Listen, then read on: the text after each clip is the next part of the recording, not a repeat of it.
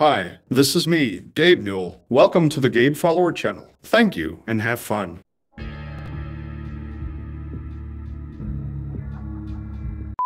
Just kidding, just kidding. My name is Max and this is the first time I'm at the microphone on this channel. I'm not a native English speaker, so please don't mind my weird accent. Anyways, today you're gonna see a pretty exciting demonstration of our over 6 months result of working on a project, the ultimate goal of which is to recreate CSGO on Source 2 using the spiritual successor of Garry's mod called S&box as a base. During the development process we did not use a single line of code from the original game. And we've of course created all of the systems and game mechanics from the ground up. It's kinda like creating a community-driven open source test bed for the original game, where we can easily add completely new gameplay mechanics and game modes without breaking the game because of some 20 years old code from the Quake engine. Eventually we'll publish all of the C-sharp code on a GitHub as an open source project, so every member of the community can use it on the basis of the Creative Commons license for their own purposes. All of the footage you're seeing right now is recorded recorded directly in our project on Source 2, and nothing was captured in CSGO.